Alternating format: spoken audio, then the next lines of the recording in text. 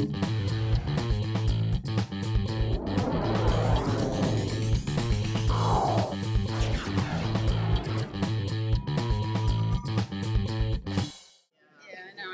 afternoon. Uh, my name is Sanjay Rai, and I'm Dean of Science, Engineering, and Mathematics at Rockville campus of Montgomery College. It is my honor and privilege to welcome you to the inaugural presentation of Science, Engineering, and Mathematics lecture series at the Rockville campus of Montgomery College. This afternoon's presentation is on motherhood, the elephant in the laboratory, women scientists speak out. In my opinion, there could not have been a better venue for this very important discussion. A recent National Science Foundation data shows that nearly 60% of the science graduates in the nation begin their, begin their education at a community college. I will begin my introduction with our own Dr. Gina Wesley Hunt, professor in the biology department at the Rockville campus of Montgomery College, and she will introduce rest of her colleagues on the panel. Gina.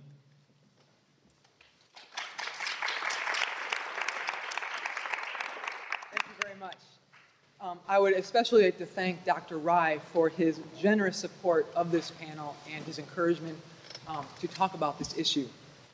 Uh, also, Miriam Carter did a lot of work to organize this, so thank you very much. A little, uh, little story about Dr. Rai and the reason why I knew Montgomery College was going to be a, a place that I could be happy. When he called to offer me the position, he had his sick daughter with him at the office, and she started screaming during our discussion. And uh, I knew right then that if my dean was unembarrassed about having family be important, I knew that I would not have to hide my family, and it really meant a lot. And the, I have been impressed. Also, uh, so I will introduce briefly the panelists, and then what will happen is uh, for the first half or less, each uh, panelist will just give a short, brief description of their story and why they became contributors to this book.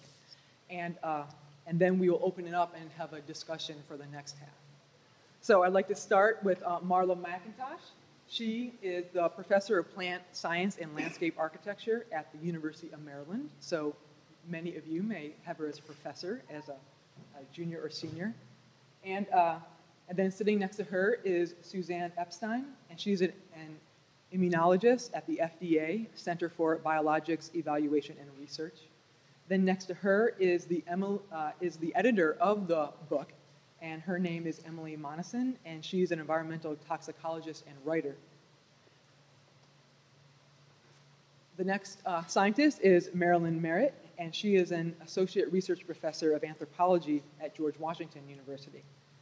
And then next is Anne Douglass, who is an atmospheric chemist at NASA, the Goddard Space Flight Center.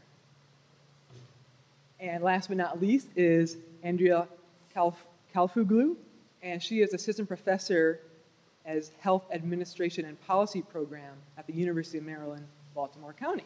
So many of you may also have heard down the road as well. I hope so. Yeah.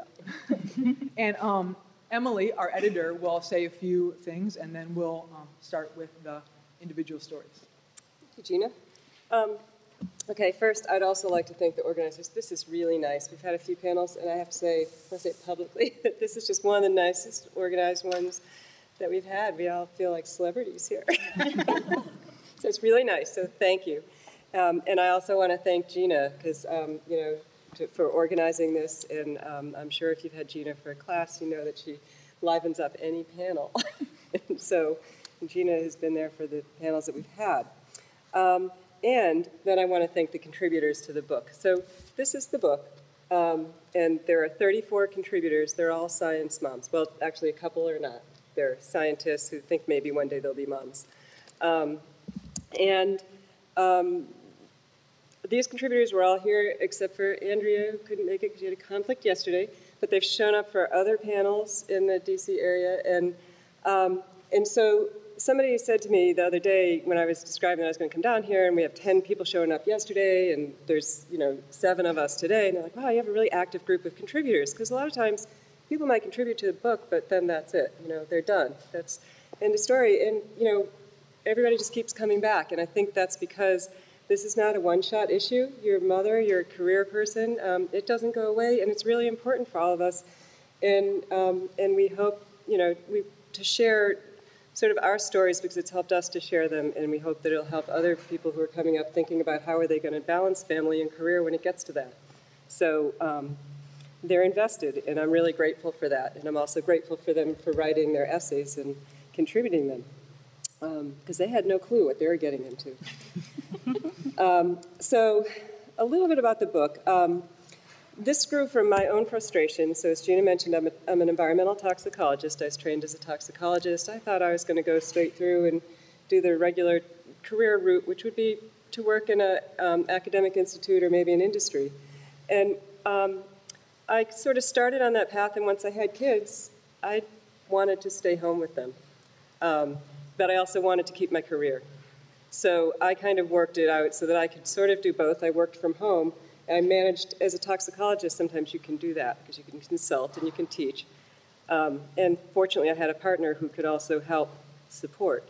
So I did that, but sometimes the work dries up. And when it does, I sat there thinking, what did I do? I went through how many years of college and grad school and training and all this stuff, and I'm throwing it away.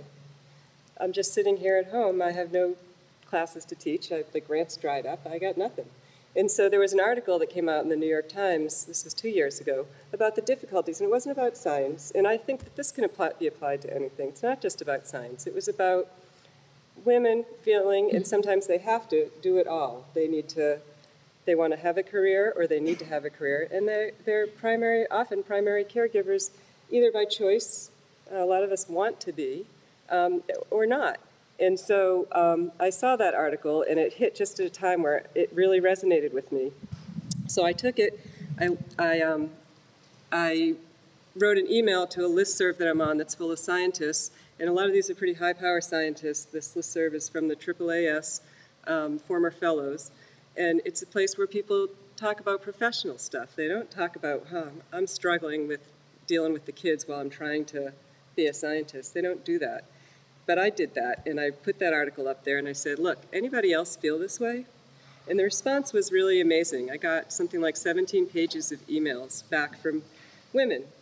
But the really interesting thing about it was that they all sent it just to me. They didn't send it back to the whole list. So I had all these emails from all these people who felt they were really happy to find out somebody else, you know, wanted to speak about this, and somebody else was struggling, and somebody else, but they they were afraid to share it with other people because they'd been keeping that hidden because a lot of times you want to show your professional side. You don't want to show the troubles you're having, whether it's family or home, and it doesn't have to be kids. It can be a parent. You know, there are a lot of different. So they didn't want to do that. So I asked, you know, do you mind if I take your names off of this? And I think everybody. And oh, the only one that went to the whole list. There was one email that sent to the whole list, and you know, that was I did it all, and it was no problem.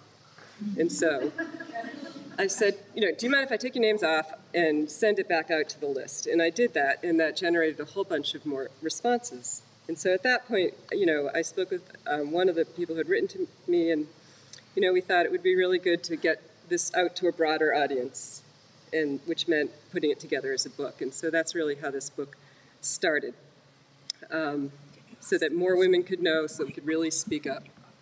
Um, and so what we hope through this is that other people get that opportunity, you know, other people learn and feel that they can speak up. Um, and so, you know, before I turn over, I just want to say that, like I said, this doesn't just apply to science, and it doesn't just apply to PhDs. It applies to anybody who's trying to, you know, start a career, get a, you know, follow a career, and have and deal with family obligations at the same time. And for, in my case, it was what really benefited me was knowing that there are other people out there and we talked a little bit yesterday in yesterday's panel about how important it is to really network and share and listen to other people who are um, either look different from you or the same or having, you know, struggling like you are, because you can draw strength from that.